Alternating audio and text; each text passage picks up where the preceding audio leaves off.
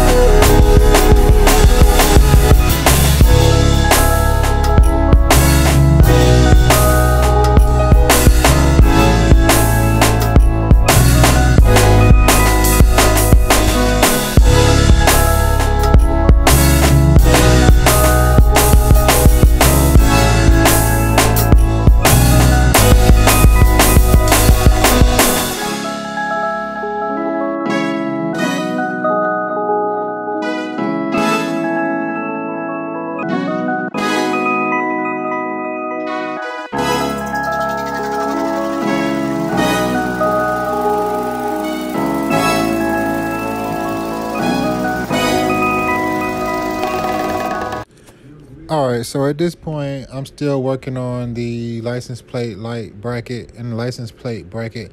Um, I've already gotten the tail lights mounted, and um, after that, I'm going ahead and mount the fender on the bike. So, not really much to talk about. I'll replay the track and let you continue to watch. Hey, if you haven't yet, go ahead and hit the subscribe button for your boy. Yeah.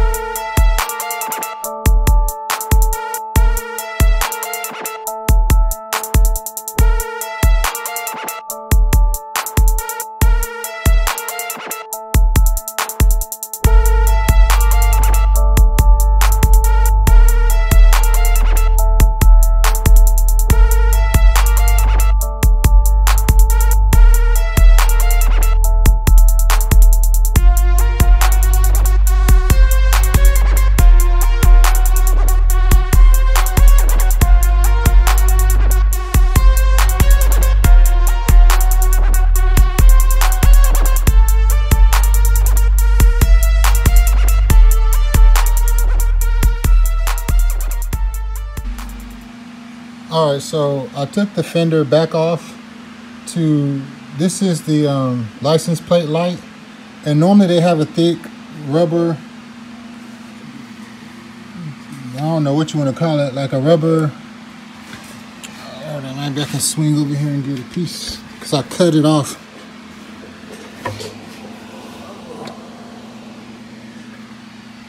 So this thick rubber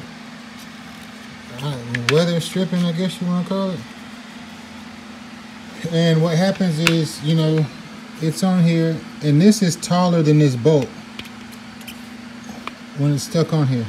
So being that my bike is on airbags, if for every reason a bag busts or I forget to lift it up or whatever, and if this if the tire is touching this, it's going to shred it up. So I got some weatherproof Gorilla Tape and put this, tape this, uh, tape the license plate light to the fender. And now this is below the bolt. So if the tire touches anything, it's gonna touch this bolt. Um, and not the wire. So,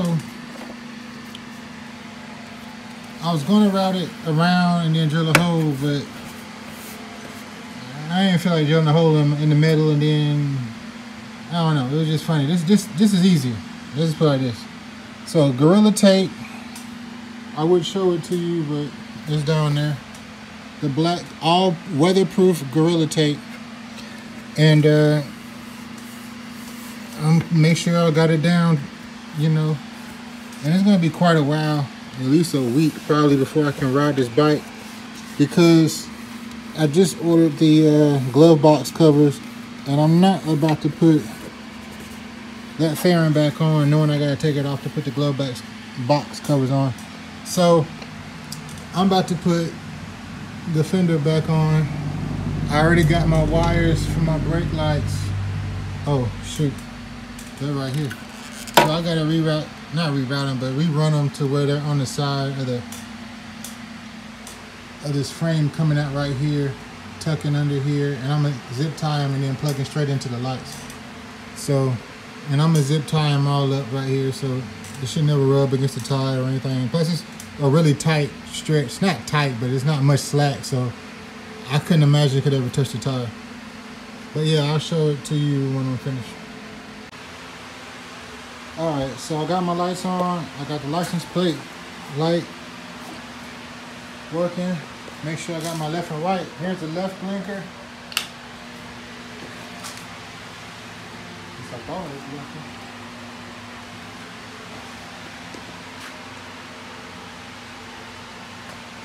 And my right blinker.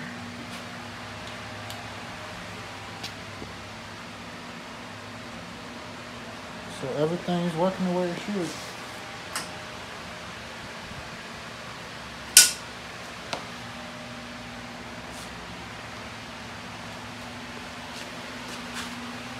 Alright, so now I gotta tighten everything back up. Me get these screws out the floor before I mess around and step on them. Or, um, these other lights, these are the lights that came with that fender. And for some reason, they come on, but they don't work. Like, neither one of the flickers. No, I need to check, see if my brake light works.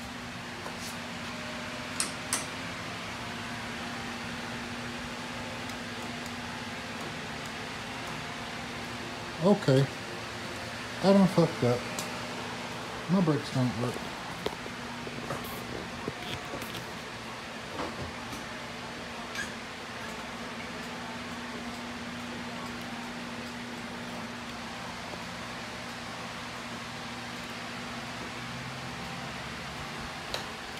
Alright, so I guess I got some serious troubleshooting to do.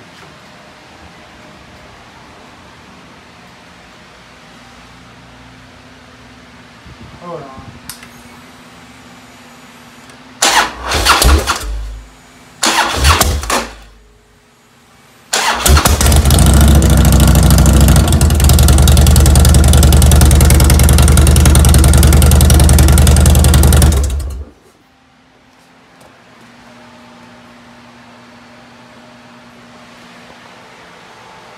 Uh, uh,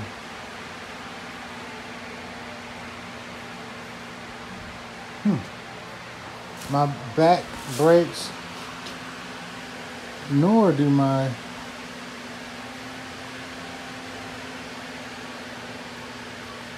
hand brakes work.